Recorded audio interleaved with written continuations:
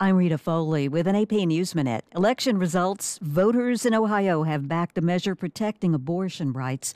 Democratic Governor Andy Beshear was reelected in Kentucky after running television ads painting his challenger as an extremist on abortion. The AP's Norman Hall. Democratic Governor Andy Beshear has been reelected to a second term in Kentucky. Governor Beshear has notched another significant statewide victory in Kentucky, an increasingly red state. Beshear defeated Republican Attorney General Daniel Cameron, who Beshear hammered throughout his campaign for support of the state's sweeping abortion ban, which makes no exceptions for victims of rape or incest. Mississippi Republican Governor Tate Reeves has won a second term.